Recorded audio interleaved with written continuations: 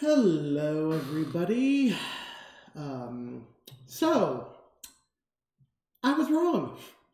Excuse the uh, glare from the uh, window. I really need to invest in some thicker blackout type curtains. uh, I was thinking a tropical motif. It is South Florida after all.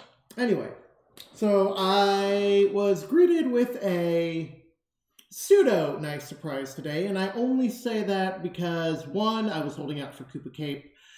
Two, I'm sorry, but Lakeside Park is better than Riverside Park, and um, could have given it the same treatment that uh, they did for Tour. Yeah.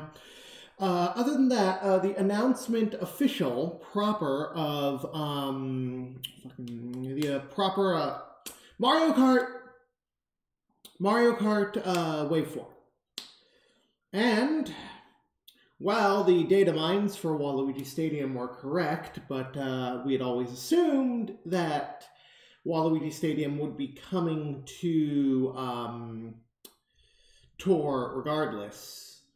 There was a very specific announcement um, that pretty much means that I was wrong. They're not just picking and choosing specific tracks from tour and popping them in to be lazy. And no, I'm not talking about Yoshi's Island. There's always a chance that they could decide to drop it in there because they never made any plans to announce it. That doesn't mean that they will or they won't.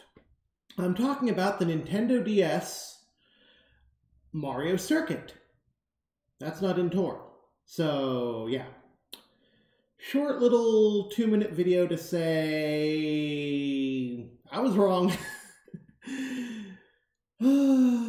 and hey, Singapore Speedway is one that I was looking forward to in terms of uh, tracks for um, tracks for uh, well Singapore Stadium and Waluigi Stadium, both tracks from the city tracks from Tour. So glad it came out now.